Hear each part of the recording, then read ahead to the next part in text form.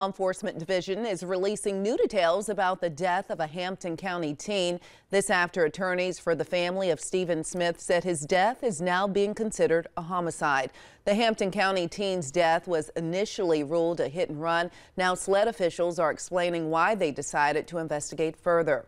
On June 23rd of 2021, six years after Smith's death, SLED opened an investigation into that incident, citing new evidence uncovered while investigating the murders of Paul and Maggie Murdaugh, the wife and son of convicted killer Alex Murdaugh.